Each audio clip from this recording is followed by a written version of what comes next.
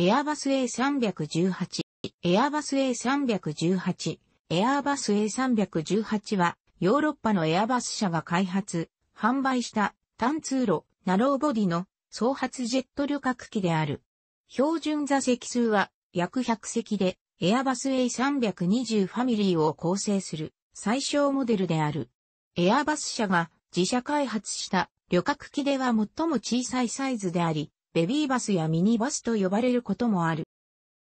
低翼配置の肩持ち翼の主翼を持ち、尾翼は通常配置、膠着装置は前輪配置、左右の主翼下にパイロンを介して1機ずつターボファンエンジンを装備する。全長は31.45メートル、全幅は34.10メートル、全高は12.79メートルである。A320 の設計を基本に、胴体長が短縮されたことから、ずんぐりとした外観を持つ。飛行システムは A320 ファミリーと共通化されており、操縦資格もファミリー機で共通である。1999年4月に正式な開発が決定し、2002年1月に初飛行、2003年7月にフロンティア航空により商業運行を開始した。2015年に納入された80号機を最後に生産が途絶えている。2018年7月現在、41機の A318 が民間航空会社で運行されている。その他に、プライベートジェット仕様である A318 エリートも開発され納入されている。2019年4月現在において A318 に関して死亡事故や機体損失事故は発生していない。世界初の総通路、ワイドボディ総発ジェット旅客機である AA300 を開発したエアバスインダストリー、以下、エアバスは AA300 シリーズの販売が軌道に乗ると単通路、ナローボディ市場への進出を図った。ボーイングやマクドネル・ダグラスと違い既存の単通路機を持っていなかったエアバスは完全な新設計機として A320 を開発し、当時の最新技術を積極的に取り入れた。大型機も含めたエアバス機全体での操縦資格の共通化を目指し、操縦系統に全面的なフライバイワイヤ技術が採用された。A320 は同規模の旅客機の中で最も太い断面の胴体を持ち、大型の貨物室扉を備えたことで、航空貨物コンテナの搭載も可能となった。A320 は1988年2月に形式証明を取得し、翌月に顧客引き渡しが始まった。続いてエアバスは長胴型の A321 と単胴型の A319 を相次いで開発し、A320 ファミリーのラインナップを強化した。A321 は1993年12月、A319 は1996年4月にそれぞれ形式証明を取得した。これにより A320 ファミリーは標準座席数で124席から185席までをカバーできるようになった。A320 ファミリーの拡充が進んでいった1990年代前半、座席数80から120席程度の旅客機を開発する構想が複数持ち上がり、メーカー間で活発な動きがあった。その中でアジアとヨーロッパの企業による共同開発構想がまとまりつつあった。ヨーロッパ側の意見を取りまとめるため、エアバスとイタリアのアレーニアの合弁により、エアバスインダストリアジアが設立された。アジア側は中国航空工業集団とシンガポールテクノロジーズが参加し、1997年5月15日に100隻級旅客機の開発に基本合意した。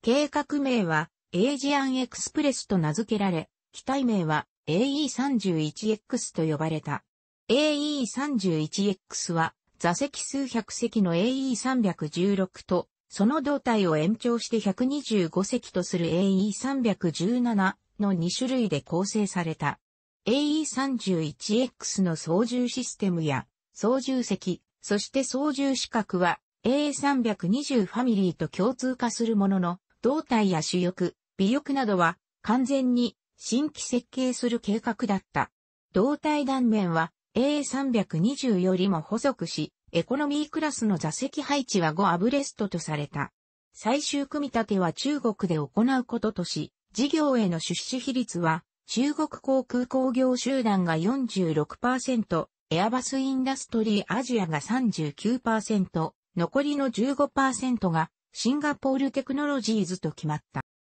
2003年の就航を目指して AE31X 計画の詳細検討が始まったものの、1997年中に数多くの課題が表面化した。特に機体を新規設計する以上は、機体価格がどうしても高止まりし、事業リスクが高くなることが懸念された。走行しているうちに、競合機となるボーイング717の開発が先行していた。こうした中、エアバスは単独で小型機を開発する研究に秘密裏に着手した。この時研究された機体は A319 の胴体を5フレーム短縮するというもので A319M5-5 の意味と呼ばれた。結局 AE31X 計画は投資に見合う収益の見込みが立たず、まずシンガポールテクノロジーズが離脱し、中国航空工業集団とエアバスとの交渉も物別れに終わった。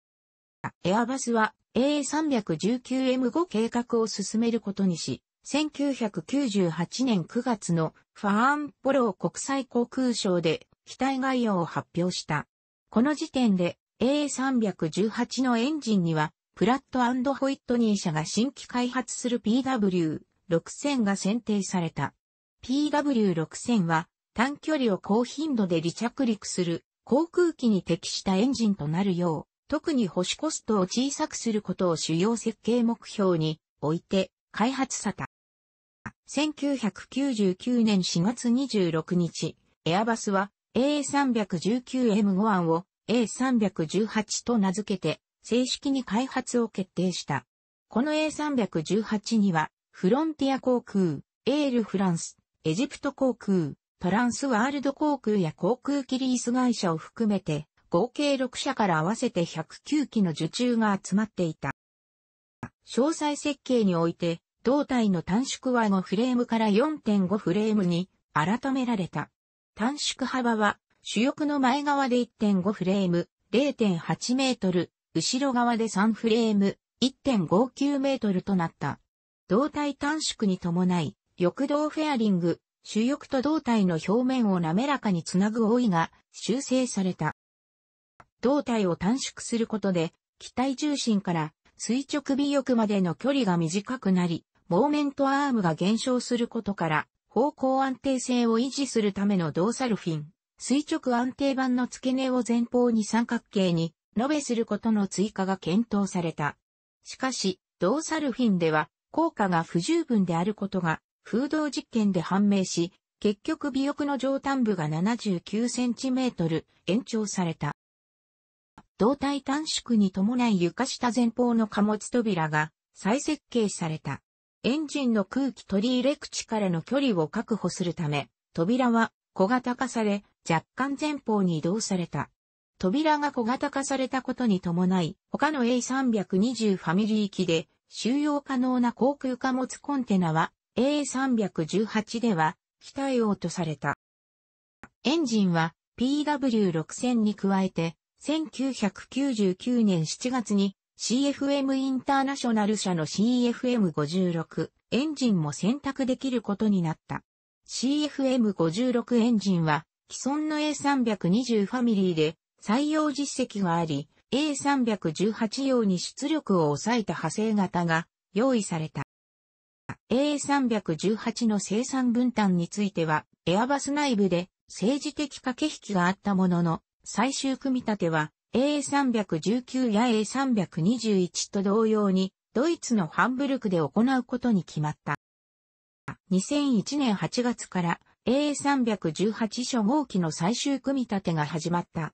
初号機は PW6000 エンジン装備機で A320 ファミリーの通算1599番目の機体となった。2002年1月15日、ハンブルクにて成功裏に初飛行を行い、形式証明取得のための試験が始まった。同年6月3日には2号機も初飛行を行い、この2機で証明取得に必要な試験飛行を行う計画だった。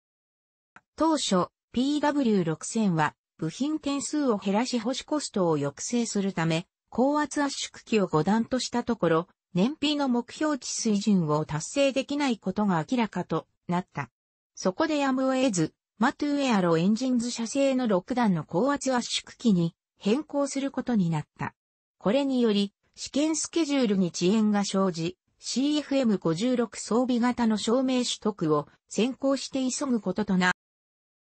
初号機は180時間飛行したところで CFM56 から5バイトにエンジンが乾燥された。そして CFM56 エンジンでの初飛行は2002年8月29日に行われた。重心位置の後方限界が若干小さくなった他はエンジンの違いが機体の取り扱いに与える悪影響はなかった。認証取得の試験飛行には主に初号機が当てられ、エンジン乾燥後に490時間の飛行を行った。エンジンの選択肢に CFM56 が加わっていたことで、エアバスは救われる形になった。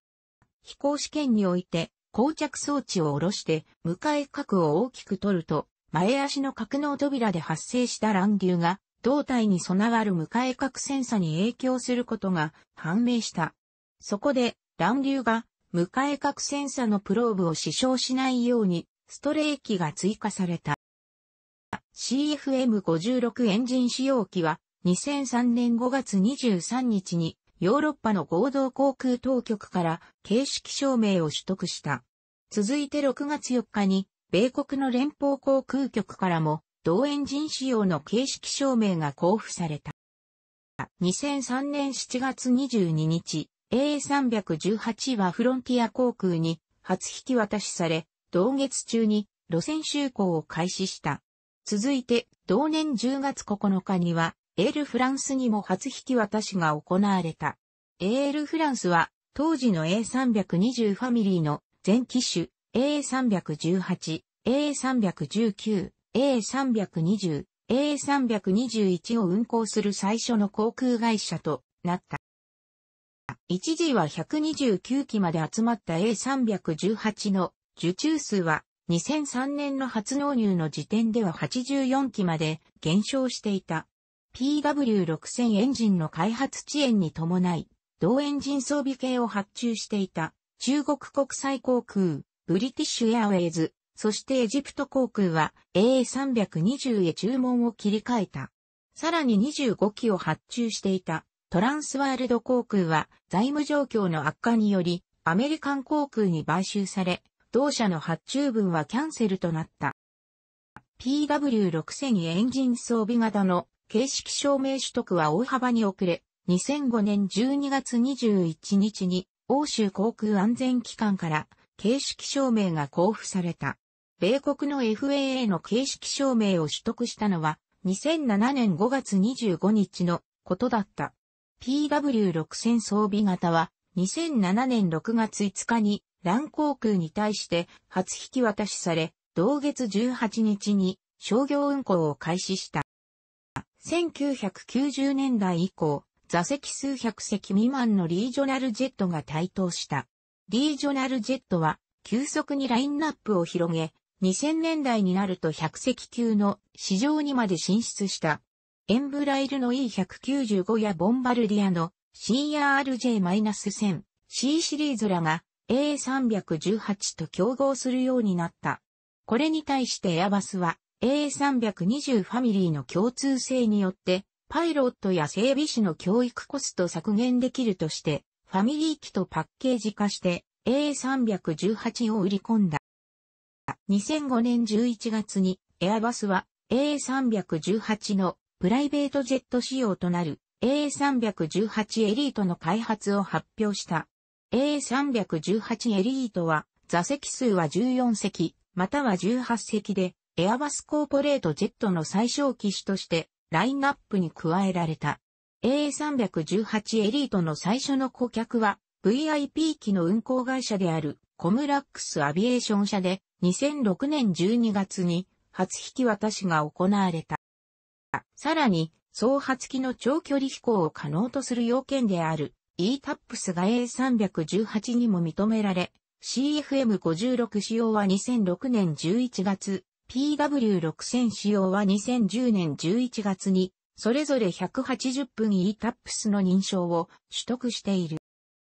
エアバスは小空港への乗り入れを可能にするため、5.5度という急角度で着陸侵入が可能となる A318 の改良系を開発し、2007年11月23日にエアサから認定を取得した。この急角度侵入型は2009年9月1日にブリティッシュエアウェイズに初納入された。ブリティッシュエアウェイズはこの急角度侵入タイプの A318 を全席ビジネスクラスの32席仕様とし、ニューヨークのジョン・カイ・ケネディ国際空港と滑走路が短いロンドンシティ空港を結ぶ大西洋横断路線に投入した。2010年9月にはエアバスは A320 ファミリーで採用を決めたシャークレットを A318 にもオプションで用意することを発表した。シャークレットは翼端装置の一種で燃費を向上させ、航続距離を延長する効果がある。このように様々な改良策が講じられたものの、A318 の販売は低迷した。2010年代に入ると、A318 の納入数は年に1、2機程度に低迷し、2015年に80号機を引き渡して、以降は生産が途絶えている。他の A320 ファミリー機については、新型エンジンを装備した A320 ネオファミリーが開発されているが、A318 についてのみ、ネオの開発が行われていない。2008年時点において、100隻から150隻級の旅客機の需要は、今後20年間で6000機とも予測されていたものの、実際には、同クラスの市場はそこまで拡大しなかった。さらに、ボンバルディアやエンブラエルがこの市場に進出したことで、A318 の販売は打撃を受けた。より大きな機体からサイズダウンした A318 は、燃費などの運行経費の面で不利だった。特に完全に新規設計された C シリーズは、燃費性能が優れているだけでなく、最大級の窓を備えるなど、客室の居住性が優れていた。一方、C シリーズを開発したボンバルディアも、順風満帆というわけではなく、C シリーズ事業のコスト超過のため資金不足に陥っていた。エアバスとボンバルディアは接近し、2018年7月1日、エアバスは C シリーズ事業会社に出資して、同事業会社株式の過半数を取得した。同時に C シリーズは AA220 と解消され、エアバスの製品群に加えられた。これにより、100席から150席前後のエアバス機ラインナップを A220 シリーズが担うことになった。A318 は片持ち翼の主翼を低翼に配置した単葉機である。機体全長は31.45メートル、全幅は34.10メートル、全高は12.79メートルである。A320 ファミリーの設計を基本として、胴体長を短縮した A318 は、ずんぐりとした印象の外観を持つ。左右の主翼下にパイロンを介して一発ずつターボファンエンジンを備える。尾翼は通常配置で、垂直尾翼と水平尾翼は共に、胴体尾部に直接取り付けられている。膠着装置は前輪式配置で機種部に前足、左右の主翼の付け根に主脚がある。A318 の主翼は A320 と共通の設計である。主翼はテーパーがついた交代翼で、25%翼限での高体角は25度、アスペクト比は9.4、翼面積は122.6平方メートルである。高揚力装置として公園にシングル、スロッテッドフラップ、前円スラットを備える。スラットは変翼あたり5枚で、ほぼ全幅にわたり配置されている。フラップは、内翼と外翼に2分割されており、その外側に補助翼がある。主翼上面には変翼あたり5枚のスポイラーがある。翼端装置として誘導抵抗を減らす効果のあるウィングチップフェンスを有する。胴体断面も A320 ファミリー共通の設計であり、幅は3.95メートル、高さが4.14メートルである。胴体長は全長と同じ31.45メートルで A319 よりも4.5フレーム分短い。A319 からの短縮幅は主翼の前側で1.5フレーム0.8メートル、後ろ側で3フレーム1.59メートルである。水平尾翼は水平安定板と昇降だ。垂直尾翼は垂直安定板と方向打で構成される。胴体短縮に伴い機体重心から垂直尾翼までの距離が短くなったことから、方向安定性を維持するために垂直安定板が上端側に 79cm 延長された。運行に必要な操縦士は、機長と副操縦士の2名である。コックピットのレイアウトは A320 と共通で、左右の操縦席に角2枚、中央に2枚の計6枚の液晶ディスプレイを備える。操縦桿はなく、サイドスティックで操縦を行う。A320 からの変更点としては、A320 で独立して残っていた3点の予備計器が A318 では液晶ディスプレイに統合された。A318 の操縦資格も A320 ファミリー共通のものである。同時にエアバスの相互乗員資格の対象でもあることから CC 級対象となるエアバス機との間であれば短時間の訓練で多機種の資格を取得することが可能である。客室の全長は21.38メートルである。客室には中央に1本の通路があり、エコノミークラスの座席配置は通路を挟んで3から3席の6アブレスト、上級クラスでは2から2席の4アブレストである。座席の頭上には手荷物を収容するオーバーヘッドストウェッジが備わる。通常の内装よりも座席幅を詰めて広い通路幅を確保する内装案も用意された。これは飛行時間が短い高頻度運行路線などを想定し、乗客の乗降時間を短縮することを狙ったものである。客室の扉配置は左右対称で乗降用ドア、サービスドアが前方と後方に一組ずつあり、主翼上には非常口が一組配置されている。床下の貨物室は主翼を挟んで前方と後方に2箇所ある。それぞれの貨物室に対応した貨物扉が左舷にある。前述の通り A320 ファミリーの多機種と比べて貨物扉は小型化されている。したがって貨物コンテナは搭載できないが、エアバスでは A318 の導入路線ではコンテナの必要性がなく問題ないとしている。A318 は総計80機が生産、納入された。